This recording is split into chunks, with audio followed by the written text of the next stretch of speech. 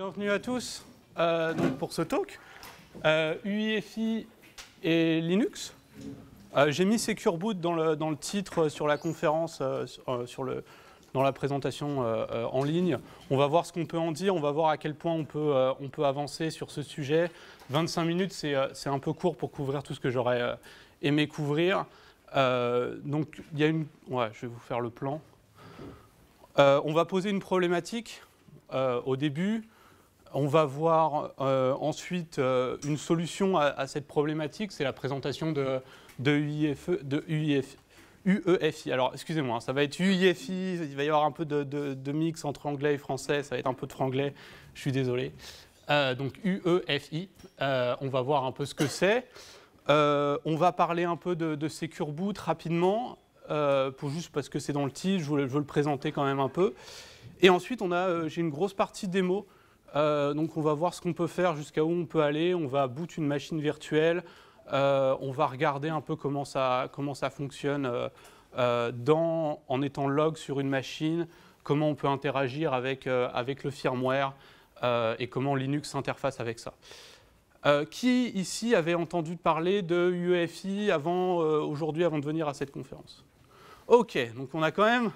C'est bien. Ok, on va peut-être pouvoir euh, ouais, parce que c'est un peu dur de savoir un peu le, les niveaux, de comprendre un peu. Donc j'essaie de.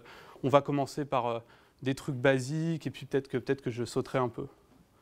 Ok. Donc la problématique, c'est quoi? Euh, La problématique, c'est on a un ordinateur euh, et on a deux acteurs. On a euh, les fabricants d'ordinateurs, en fait, c'est les fabricants de cartes mères, euh, mais qu'on peut appeler fabricants d'ordinateurs, du matériel informatique qui fournissent le matériel informatique. Et de l'autre côté, on a des éditeurs de logiciels et principalement des éditeurs d'OS, parce que c'est ça qui nous intéresse. Et ces deux acteurs, il faut qu'ils parlent ensemble. Il faut qu'il y ait un moment où il y ait une interaction, où ils puissent euh, euh, savoir euh, communiquer, au moins, donc la partie qui nous intéresse, pour lancer le système d'exploitation. Il faut que le, les fabricants de matériel puissent savoir comment je lance le système d'exploitation qui va être installé sur mon matériel. Donc, lorsqu'il y a généralement ce genre de problématique entre deux acteurs qui doivent se parler, il y a, soit, il y a deux grandes solutions, c'est comme ça que je vois les choses. Il y a euh, la solution de euh, on a un, acteur principal, majeur, qui contrôle tout et donc qui va imposer sa propre solution. Ou alors on euh, a un ensemble d'acteurs qui vont se réunir, se mettre autour d'une table, enfin autour d'une mailing list aujourd'hui, et qui vont discuter d'une solution commune. Donc la, la, solution qui existait, enfin qu'on a beaucoup vu, qui, marche encore euh, et, euh, et, qui était là historiquement, c'est une solution d'IBM pour lancer l'OS. Donc une solution qui historiquement a été développée par IBM sur les, ordinateurs d'IBM, qu'on qu appelait, qu'on appelle aujourd'hui Legacy Boot, euh, et qui utilise ce qu'on appelle un MBR, MBR, Master Boot Record.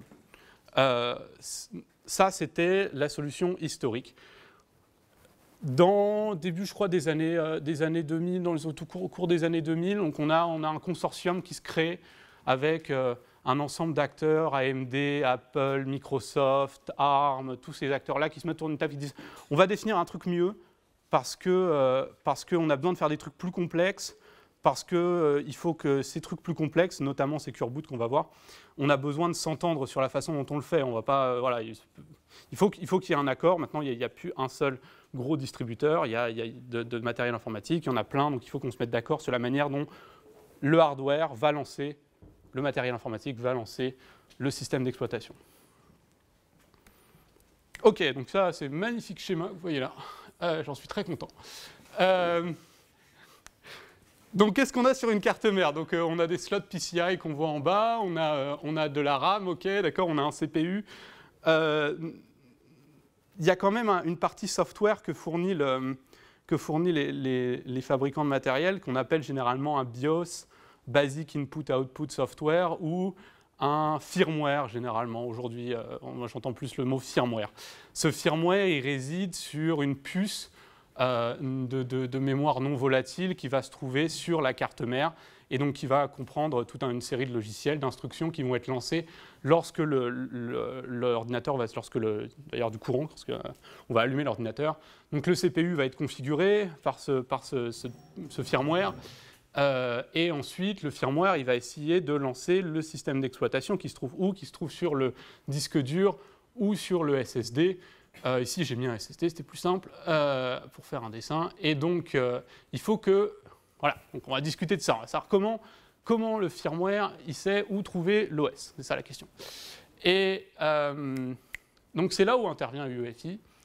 Euh, et donc c'est le schéma de gauche. En gros, c'est un niveau de communication, un interface entre les deux. OK. UEFI, donc je l'ai écrit comme ça, je, peux en souvenir. Unified euh, Extensible Firmware Interface là, le mot intéressant que je veux que vous reteniez, c'est interface. Ce n'est pas une implémentation, ce n'est pas, euh, pas, un software, ce n'est pas un firmware particulier, c'est pas c'est un standard. C'est un standard qui définit une interface. Pour que le système d'exploitation, les fabricants, les éditeurs de systèmes d'exploitation et les éditeurs de firmware, enfin en tout cas donc ceux qui, font le euh, hardware, euh, puissent se parler entre eux. Donc c'est une interface. Qu'est-ce qu'il faut?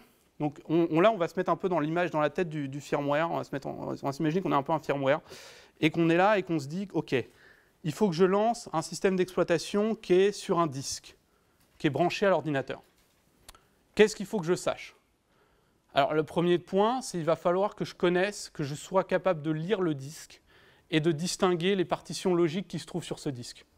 Donc qu'est-ce que fait le standard? Le premier truc, il définit un système de partition qu'on appelle GPT. Alors GPT aujourd'hui, euh, malheureusement, déjà en français c'est pas top, mais en plus avec, euh, avec ChatGPT, on n'est plus là. Mais, euh, GPT, GOID Partition Table. Donc c'est partition table, c'est un moyen de définir une table de partition. Donc lorsque vous partitionnez votre disque sur votre ordinateur, il y avait les anciennes partitions DOS, et maintenant, on a GPT en gros. Euh, et euh, GPT, c'est ce qui va être défini dans le standard UEFI pour que à la fois l'OS et le firmware puissent savoir ce qui est sur le disque, pour que le firmware puisse lire ce qui est sur le disque. Le deuxième truc, c'est bien maintenant de savoir où sont les partitions, d'accord, sur le disque, mais il faudrait bien pouvoir les lire, parce que si jamais euh, je veux lancer un truc qui est sur un disque, il faut que je puisse lire ce qui est dessus. Donc il faut aussi qu'on s'accorde sur un système de fichiers. Donc la, conférence, justement, ça portait, aussi sur un file system, sur un système de fichiers. Donc là, le système de fichiers euh, qui est défini, alors il n'est pas défini dans, le standard, c'est un truc qui existe, c'est FAT. Donc quand vous formatez une clé USB, généralement, vous voulez qu'elle fonctionne à la fois sur Linux et sur, euh, Windows ou même sur Mac. Vous la partitionnez en FAT, bah là c'est pareil, on va avoir un système de fichiers FAT qui va permettre au firmware de lire ce qu'il y a dessus. ok? Le deuxième truc, c'est bien maintenant, je sais lire les trucs, je suis le firmware, je sais lire tout. Ok, maintenant, il faut qu'il y ait un canal de communication, il faut que je sache quoi lancer. C'est bien gentil de savoir lire les trucs, mais je voudrais pouvoir savoir quoi lancer. Donc, il faut qu'il y ait un espèce de canal de communication entre le firmware et euh, l'OS. Et donc ça, ça va être fait à travers un ensemble de variables qu'on appelle les variables UEFI. Donc je vais vous montrer ça dans la démo, c'est partie de la démo, de comment on voit les variables avec Linux et comment on peut, euh, on peut interagir avec ça. Enfin, voilà, ça c'est la partie Secure Boot. Maintenant qu'on a défini tout ça, la norme, peut, le standard euh, peut aussi dire, OK, on veut vérifier que l'OS est de confiance. Alors de confiance, c'est avec des grosses, euh, grosses guillemets. Hein. De confiance, ça veut dire qu'elle est signée par une clé qu'on... voilà, je, vais, en revenir, il y a une slide là-dessus après. Et il faut que ce soit rétro-compatible, parce que c'est bien de faire tout une un nouveau standard, mais je voudrais que je puisse aussi boot euh, ce que les, disques durs qui, ont été installé avant, formaté avant, donc euh, il faut que je puisse, euh, ce soit rétrocompatible avec ce qui existait avant, rétrocompatibilité avec MBR. Donc on, a ça, on a ça dans l'interface aussi.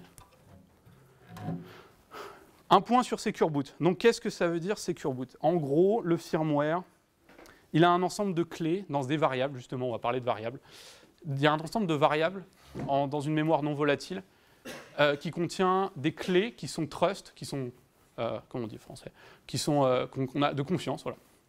Euh, et ces clés de confiance, ces clés publiques, ces certificats de confiance, on va vérifier que ce qu'on lance, le firmware va vérifier que l'OS qui lance a bien été signé par un des certificats qui fait partie de ces certificats de confiance. Ok? Donc c'est ça, Secure Boot. Voilà. C'est pour, pour revenir particulièrement En pratique, En pratique, c'est Microsoft. hein. Tout est signé par Microsoft. Euh, si vous voulez avoir un, c'est pour ça que euh, si vous voulez avoir un OS qui, boot avec Secure Boot, Ubuntu par exemple boot avec Secure Boot, je pense que Fedora, Red Hat, euh, euh, tous le font. Mais tous, ça veut dire quoi? Ça veut dire qu'il y a une partie du, soft, du truc qui boot qui a été signé par Microsoft. Je ne sais pas si on aura le temps de voir ça dans la démo après. Et justement, c'est parti pour la démo. Donc, on va voir comment je peux faire. Vous allez me dire si vous voyez bien les trucs. On va, on va essayer, je vais m'asseoir. Peut-être que je vais essayer de parler un peu plus fort pour que tout le monde m'entende. Euh, vous me dites si vous ne voyez pas, si vous avez besoin de trucs. Euh, ok. Qu'est-ce qu'on va faire? On va lancer. J'ai pas envie. Donc, on va démarrer un ordinateur là. Euh, j'ai pas d'ordinateur à côté de moi, donc vous savez, on va, on va faire ça simple. On va démarrer une machine virtuelle. Donc, je vais vous montrer vite fait ce que j'utilise pour déma- démarrer ma machine virtuelle. Euh, Là-dedans, il y a peu de choses qui nous intéressent. Enfin, il y a quelques trucs qui nous intéressent. Le début, on s'en fiche un peu. Donc ça, c'est la commande pour lancer une machine virtuelle avec QEMU. Certains d'entre vous seront familiers avec ça, peu importe. Euh, ça, c'est pour euh, ça, c'est pour mettre le disque. Donc on veut un disque, on veut brancher un SSD, un disque dur. Donc ça, c'est le disque dur qui contient mon, mon système d'exploitation. C'est comme si vous mettiez un SSD dans votre ordinateur. Et les, par- les deux parties intéressantes, les, deux, les deux dernières lignes sont intéressantes. Euh, bah, c'est ça, c'est le firmware qu'on va utiliser justement. OVMF, OVMF, Open Virtual Machine Firmware. Donc c'est des firmwares qui sont open source. Euh, vous pouvez trouver le code sur, euh, GitHub. Euh, et qui justement implémentent l'interface UEFI. Donc on va lancer cette machine virtuelle. On va espérer que tout fonctionne correctement. Boum, boum, boum. On a le kernel qui se lance, on a système D qui démarre, et normalement, on a notre machine virtuelle. Donc maintenant, je vais me connecter dessus. Elle a été lancée dans le, dans le premier shell. On va, on va se connecter dessus maintenant. OK, donc on est sur Ubuntu. OK, donc, reprenons, reprenons, vous me dites ah, si vous voyez pas, je pense que c'est bon. Euh, reprenons depuis le début. Donc on a dit quoi? On a dit qu'on devait avoir euh, un, un disque qui était formaté avec GPT. Ok, alors comment on vérifie ça? Euh, On va regarder euh, fdisk. On va utiliser fdisk euh, pour regarder ça. Alors fdisk, c'est une commande qui permet d'inspecter un disque. Alors moi, je sais que le disque, euh, c'est un caractère device, donc c'est un block device, c'est un, comment dire un block device. Ouais, c'est un truc, c'est un truc qui expose des blocs en fait. hein. Un disque, c'est un ensemble de, c'est un bloc, c'est des ensembles de blocs. Et donc du coup, on va, on va demander à F10 de regarder cette block device et de nous dire un peu ce qu'il y a dessus. et attendez, d'ailleurs, on va faire ça parce que sinon il va nous embêter. Euh, euh, vda. Voilà. Ok, donc, ce qui nous, donc on a plein d'informations sur ce disque, la taille du secteur logique. euh, bon, ça, ça ne nous intéresse pas trop. Ce qui nous intéresse, c'est ça, cette ligne-là. Cette ligne-là, elle dit que ce disque, il a bien été formaté avec GPT, donc on est bon. Le firmware, firmware UEFI, va être capable de lire et de, de lire exactement ce qu'on est en train de lire ici, en fait, les métadonnées associées au disque. Euh, on a ensuite les partitions qui sont définies là. Donc, euh, encore une fois, hein, le firmware va être capable de lire les partitions. Et toutes les métadonnées qu'on voit associées à ces partitions, c'est-à-dire leur taille, là où elles démarrent, là où elles finissent, et le flag, donc le, type. Alors, le type ici, il est écrit en pleine, lettre, hein, bien sûr, mais il faut s'imaginer que le titre, c'est un flag euh, euh, en, écrit en, en. Enfin, c'est un- flag qui est, défini dans la, le, voilà, c'est un GUID. Pour ceux qui, c'est un UID, c'est un ID qui est défini dans la, dans la spec. Alors, on, a quoi? On en a quatre. Le premier nous intéresse pas trop. Enfin, le premier, c'est ce qui contient le, root file system, la racine de notre, de notre système Linux. Le deuxième, BIOS boot. Ah, ça, c'est pour la être backward compatible. C'est pour la rétrocompatibilité avec MBR. Donc là, ça nous intéresse pas trop aujourd'hui. Euh, le quatrième, ah, le quatrième est intéressant. EFI system, Extended, euh, Extended Firmware Interface System. OK. OK, donc ça, peut-être que ça va intéresser le firmware. Il va pouvoir aller regarder ce qu'il y a dessus. Et le dernier, Linux Extended Boot, on n'en parlera pas aujourd'hui. Euh, donc du coup, maintenant, je sais qu'il y a ça. Maintenant, est-ce que mon firmware, il peut lire ce qu'il y a sur EFI System? Alors, on va regarder ça. df-t, on va regarder dev. Alors, c'est quoi? C'est sur dev VDA, VDA 15. OK, alors dev VDA 15. Alors, ce qui nous intéresse, c'est ça. VFAT, ouais, c'est du FAT. C'est du FAT. Le firmware, il peut lire. C'est bon. Donc ça, c'est, on, est bon, donc il va pouvoir lire ce qu'il y a dessus. Et alors ce qui est bien, c'est qu'en plus, là, il est monté, on voit qu'il est monté sur, notre, sur notre VM, en- sous euh, slash boot EFI. Donc c'est parfait. Alors, c'est là qu'on arrive dans la, dans, la, dans la, seconde partie. Le firmware, il peut lire tout ça, il voit qu'il y a une partition EFI, il voit que c'est du FAT, il peut regarder ce qu'il y a dedans. Maintenant, il faut qu'il sache quoi boot. Ah, ok, comment je sais quoi boot? Donc c'est là qu'on a ce canal de communication entre l'OS et le firmware qui nous est intéressant. On a des variables, des variables qui sont définies dans l'interface, qui vont pouvoir être à la fois lues par le firmware et par l'OS, et qui vont pouvoir être écrites aussi par les deux, selon un certain nombre de... Il faut bien entendu qu'ils définissent un, certain nombre de protocoles, mais il y a des deux peuvent être lus. Donc on va, voir, on va aller regarder ce qu'il y a dans ces variables. Sous Linux, on a le système de fichiers euh, virtuel file system, le système de fichiers virtuel 6, donc que le kernel expose, que le noyau expose, donc 6, EFI, euh, firmware, pardon, parce qu'on est dans le firmware, firmware EFI, ok, et on veut regarder les variables, donc les variables, elles sont sous EFI var. Ok, donc on a plein de trucs ici.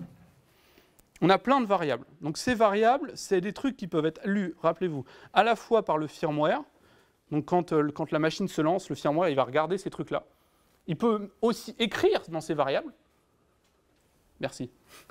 Euh, bon, on est large.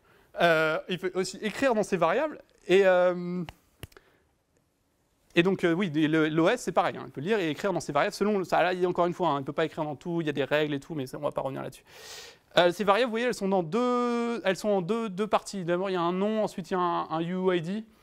un ID, donc c'est important parce que comme ça, on peut avoir différents vendors différents vendeurs, à la fois de logiciels et de matériel, qui peuvent écrire les mêmes sur un même, des variables qui, pareilles qui ont le même nom, tant qu'ils ont un UID différent par vendeur, bah, c'est bon, on est OK. Euh, ils peuvent écrire les mêmes variables. Euh, et le troisième, deuxième truc que je dernier truc, vous voyez qu'il y a des variables, elles ont, au début, là, toutes les variables boot, elles ont le même UID. Et donc ça, ce UID-là, alors je ne sais pas c'est quoi, c'est 8BA, euh, voilà, 8BE, 4. Donc tout ça, ça, ça c'est un truc particulier, il est défini dans le standard. Ce n'est pas, un vendeur, qui a ce, UID-là, c'est défini avec le standard. C'est des trucs qui sont par défaut là dans tous les systèmes UEFI qui vont implémenter le, standard. Euh, et ce qui nous intéresse, on voit que c'est des variables boot. Alors regardez ce qu'il y a dans ces variables boot. Euh, on, va juste, on, va juste, les filtrer histoire de voir un peu. On a secure boot à la fin, bon, voilà. Mais on a surtout boot order, boot current, et ensuite on a boot 0, toutes les, voilà, toute une liste. Alors on s'imagine, on fait le firmware, on va regarder ce qu'il y a dans boot order. On a le firmware, on veut lancer un truc, on va regarder ce qu'il y a dans boot order. Alors regardons ce qu'il y a dans boot order. Donc on va lire le contenu de la variable boot order. Euh, donc là, pour ceux qui savent, c'est rigolo. Euh, boot, var, boot, order, merci. Il n'y a rien. Oui, mais non, il n'y a pas rien en fait. C'est parce que c'est juste que c'est pas du. Il y a des trucs en fait. Il y a des trucs. Donc, euh, est-ce que vous pouvez tous voir Parce que c'est intéressant ça?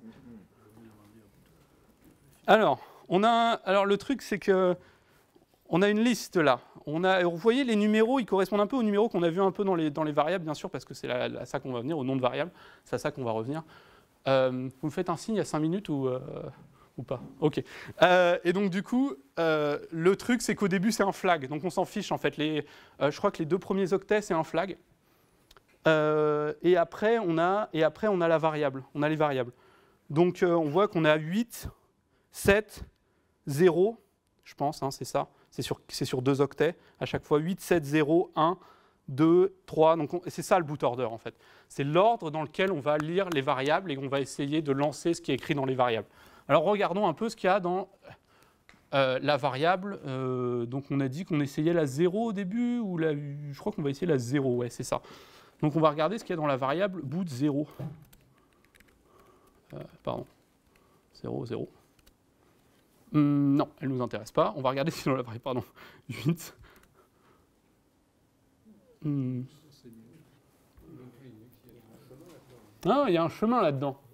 Il y a un chemin là-dedans. Il y a un chemin. Il y a un truc au début, on ne sait pas trop quoi lire. Ah, ah, on, voit Linux au début, puis il y a un chemin après, puis entre les deux, on ne sait pas trop. Bon, allez, on, va utiliser un outil qui décode un peu tout ça, parce que c'est marrant de le faire à la main, mais on a un outil qui fait ça pour nous. Alors, c'est là où ça va être un peu compliqué, mais en gros, ici, je ne sais pas si vous arrivez toujours à lire, cet outil-là, je ne vais pas vous faire un S-trace dessus, mais en gros, il lit les variables et il les décode pour nous. Donc, il nous dit le boot order, on commence bien par 008, donc c'était ça. Et ensuite, 007, euh, et voilà. Et donc 008, on voit que c'est quelque chose. Euh, c'est parfait. On voit que, c'est, on voit que 008, ça, ça pointe vers un truc qui s'appelle Linux. Euh, on voit que au début, alors je vous, la, je vous la surligne au cas où. Voilà. On voit qu'au début, ça c'était le truc qu'on n'arrivait pas à lire dans le, quand on le jouait avec XXD. On n'arrivait pas à lire ça. En fait, c'est juste le disque. Il dit quel disque sur quel disque il est le, le, le, truc que je dois lire. Parce que ça se peut, on a vu qu'il y avait un seul EFI, EFI euh, système partition, mais en fait, il peut y en avoir plusieurs. Donc il faut aussi spécifier quel disque on veut. Donc on voit bien que c'est GPT 15, donc c'est GPT parce que c'est le, voilà, c'est bien. On a l'UID du disque, GUID partition table. On a le numéro de la partition, on a le début, on a la fin. Je crois que c'est le début et la fin. Et ensuite, et la taille, le début et la taille, merci. Et ensuite, on a le chemin qui nous, qui nous emmène vers un fichier apparemment qui s'appelle Linux. Alors on va aller voir ce que c'est que ce fichier Linux. Euh, ouais, je vous le dis maintenant parce qu'en en fait, on va aller voir et on va, on va, rigoler un peu. Mais alors, du coup, on va regarder un peu, on va regarder ce qu'il y a dans boot EFI juste pour vous montrer. On a plein de fichiers EFI. Et en fait, et en, hmm ouais, euh, on a, on a, euh, on a plein de fichiers EFI euh, et donc en fait, c'est ça que dit le standard, c'est qu'en fait, on lance des fichiers, le firmware. En fait, si vous savez ce que ça, comment marche MBR euh, et, euh, MBR, MBR et, Legacy Boot, en fait, il, démarre, il saute directement à une, adresse, à une, une, localisation sur le disque. Et bien là, c'est différent. En fait, le firmware, il va regarder ce qu'il y a sur la partition et il va lancer des fichiers. Il va lancer des fichiers. Et le Linux qu'on a ici, bah, c'est le noyau. C'est notre noyau de système d'exploitation qui est directement lancé par le firmware. On va aller regarder du coup, c'est quoi ce type de fichier? Parce qu'il y a un truc pratique, il y a une commande que j'aime bien, ça s'appelle file. Et la commande file, elle permet de nous dire quel type de fichier. Elle, va, elle regarde l'entête en fait, il regarde l'entête du fichier. Et il nous dit, euh, quel, type de fichier c'est. Ça, ça, voilà, ça nous permet de, savoir. Donc EFI, on est en, sous EFI, ça c'est pareil, l'aspect dit où doivent se situer les trucs, et ça doit être sur la partition EFI système sous le dossier EFI, comme ça. Euh, EFI, Ubuntu, puisque c'est un Ubuntu, donc c'est là qu'Ubuntu met ses, dossiers. Ah, regardez, file, et ça c'est marrant. Alors on a quoi?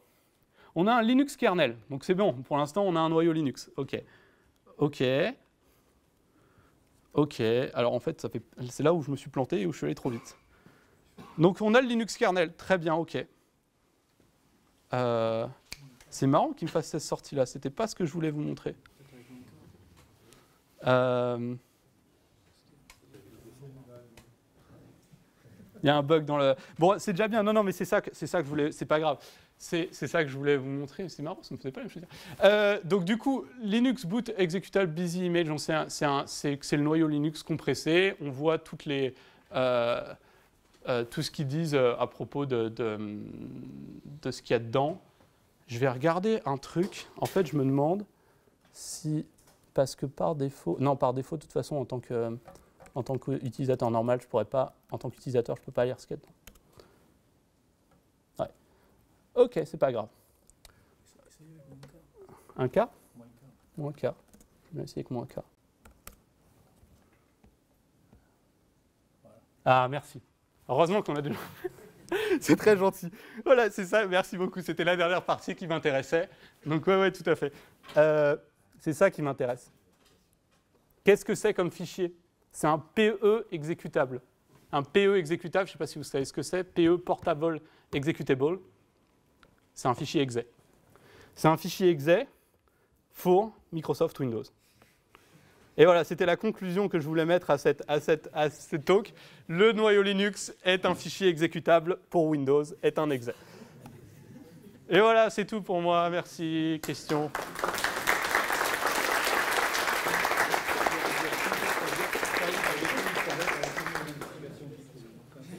Oui. Si on peut passer par Microsoft, on désactive l'UEFI.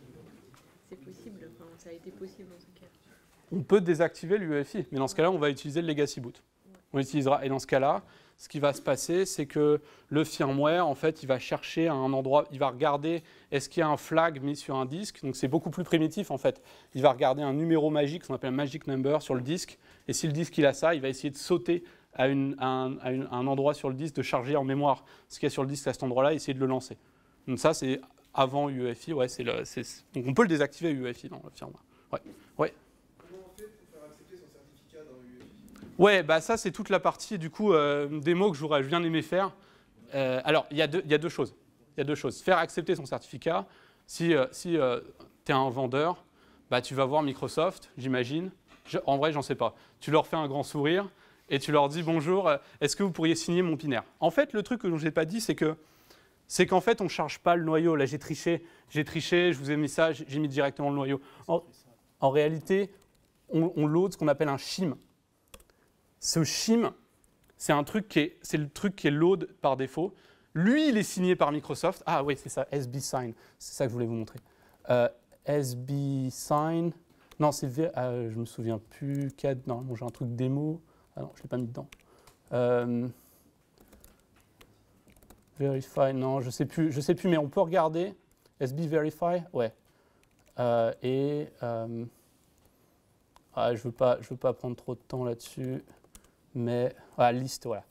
SB verify list slash d, euh, non, boot, EFI, EFI, euh, Ubuntu, Shim. On va regarder Shim. On va regarder aussi, du coup, Linux, par quoi il est signé. Voilà, donc là, vous avez la signature, vous avez les, listes de signatures qui sont dans les, fichiers. Vous voyez que Shim, en fait, il est signé par Microsoft. Et c'est ça, en fait, c'est Microsoft, il, signe le Shim. Et Shim, qu'est-ce qu'il fait? Il lance Grub, automatiquement par défaut. En fait, il lance Grub. Et donc c'est ça que c'est pour éviter d'avoir à re que Microsoft ait à re-signer en permanence les trucs. Canonical, euh, Red Hat, full disclosure, je travaille pour Canonical. Red Hat, euh, tout ça, ils envoient, envoient leur, euh, leur shim, ils buildent leur truc, ils font signer ça par Microsoft. Microsoft signe le shim qu'ils mettent dans un, dans un truc, et shim boot juste Grub, et Grub boot le kernel. Et ensuite, bien entendu, il y, a il y, a toujours une suite de vérification de certificats. Shim vérifie le certificat de Grub qui est bien signé par Canonical ou Red Hat. Et ensuite, le Grub de Red Hat va vérifier que le noyau qui est, lancé par le Grub de Red Hat est bien signé par Red Hat. Donc il y a une chaîne en réalité. Ensuite, le deuxième point que je vais aborder, c'est que toi, toi-même, tu peux changer, tu peux mettre, tu peux setup tous ces certificats.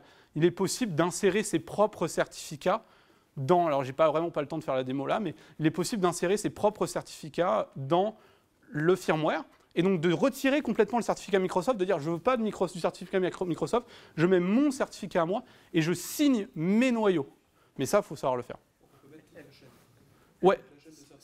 Ah, tu peux signer le premier et puis après tu signes la suite. C'est fini, mais euh, je sais pas, il n'y a rien après, donc euh, on continuer.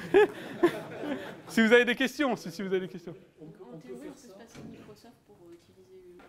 Ah oui, on peut se passer de Microsoft. On peut passer de Microsoft pour utiliser UEFI de toute façon. On peut se passer de Microsoft même pour utiliser Secure Boot. Et ça, c'est ça que je viens de dire. Pour utiliser UEFI, ouais, totalement. Oui. Euh, du coup, les variables UEFI, elles sont, elles sont stockées euh, sur un chipset. Euh, sur... Ouais, elles sont stockées sur, dans, de la, dans de la mémoire non volatile, qui sont, qui sont sur la carte mère. Oui. Ouais. D'autres questions? Oui. Euh, on peut insérer ses propres clés euh, Secure Boot dans n'importe quel firmware, ils, supportent tous ça J'imagine que non, il faut pouvoir mettre le firmware en, setup mode, ce, que, qui s'appelle setup mode. Donc j'imagine qu'il y a des firmwares qui sont lock et on ne peut pas la mettre en setup mode. L'idée, c'est encore une fois, on a une chaîne, c'est toujours pareil avec le trust en informatique et les certificats, on a des chaînes. Donc le premier, la première clé en haut de la hiérarchie, c'est la PK euh, pour Platform Key. La PK, elle permet de modifier les autres, d'autres, un autre type de clé qui, lui, permet de modifier les certificats. Comme ça, Microsoft lui-même peut modifier les certificats, parce qu'il y a toujours des problèmes de sécurité. S'il y a un certificat, s'il y a une clé privée qui leak, il faut pouvoir changer les clés publiques, les certificats dans le... Donc ça, c'est important de pouvoir les changer, les updates. Mais ça, c'est que Microsoft qui peut push ces updates-là, parce qu'il n'y a que les clés de Microsoft. Et donc on peut mettre le firmware en setup mode et ensuite modifier les, hum, modifier, ajouter ses propres clés. Mais ça, c'est que si bien sûr la plateforme supporte de mettre le, firmware en setup mode. Ce qui est le cas, euh, je pense, pour la plupart des PC portables et des PC, euh, des, PC euh, des cartes mères qui se vendent dans le commerce. Enfin, si c'est pas c'est un système très particulier. Si on a un disque dur chiffré, Ça marche. Disque dur chiffré, ce sera un peu plus compliqué, mais ça n'a rien à voir avec, euh, avec UEFI. c'est c'est après dans une autre partie. Ouais, c'est-à-dire que, c'est-à-dire que ouais, le kernel généralement n'est pas chiffré. Donc vous allez launch le kernel qui n'est pas chiffré après la partition va être chiffrée. Et le truc, c'est que ce qui est bien avec Secure Boot, c'est que justement, si, si le, euh, si, si vous voulez partir, je peux enlever. Euh, le truc avec, euh, avec Secure Boot, ce qui est bien, c'est que du coup, le kernel n'a pas besoin d'être chiffré. Parce qu'on peut vérifier avec la clé qu'il y a dans le kernel, on peut vérifier que c'est le bon kernel, que je l'ai signé. Donc c'est bon, le kernel, il est safe. Alors en soi, il aura- ça peut être une, autre, une vieille version. Là, on entre dans toutes les problématiques TPM, comment on fait du measured boot, ça, ça, a rien à- ça c'est encore après. Mais en soi, il n'a pas vraiment besoin d'être chiffré puisqu'il est signé. Donc c'est bon. Oui? Sauf que ton InitramFS, il ne sera pas signé. Voilà, donc après on fait des, après on fait des UKI, on fait des Unified Kernel Image, on signe l'initramfs avec. Mais là, il n'y avait pas d'initramfs. Hein. Alors oui, si tu veux déchiffrer un truc, il faut un initramfs. Comment tu as réussi à booter ça sans a le, le noyau Ubuntu a le pilote, Les pilotes Virtaio, ouais, dans notre noyau, par, euh, notre- on a, toutes nos cloud images, par défaut, on essaie de faire en sorte qu'elles aient tous les drivers nécessaires pour boot sur la plateforme. Une plateforme par défaut. Donc là, j'ai téléchargé l'image QEMU, donc elle, elle boot sans initramfs. Ouais. Ok, bah, je pense qu'on va s'arrêter là. Du coup, je veux pas. Voilà, et puis si vous avez d'autres questions, on peut revenir. Merci.